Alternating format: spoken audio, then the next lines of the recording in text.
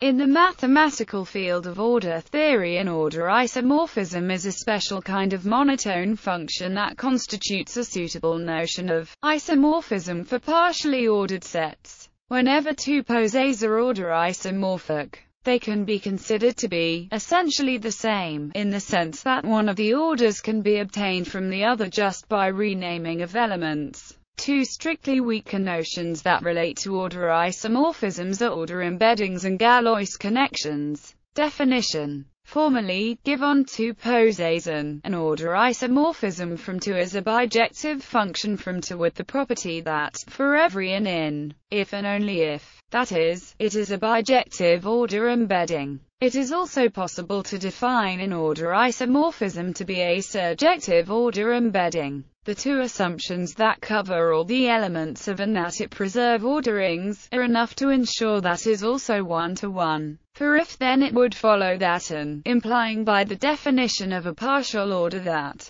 Yet another characterization of order isomorphisms is that they are exactly the monotone bijections that have a monotone inverse. An order isomorphism from a partially ordered set to itself is called an order automorphism. Examples the identity function on any partially ordered set is always an order automorphism. Negation is an order isomorphism from 2, since minus x minus y if and only if xy. The open interval does not have an order isomorphism to or from the closed interval. The closed interval has a least element, but the open interval does not, and order isomorphisms must preserve the existence of least elements. Order types if is an order isomorphism, then so is its inverse function. Also, if is an order isomorphism from 2 and is an order isomorphism from 2, then the function composition of an is itself an order isomorphism from 2. Two partially ordered sets are said to be order isomorphic when there exists an order isomorphism from one to the other. Identity functions, function inverses, and compositions of functions correspond, respectively,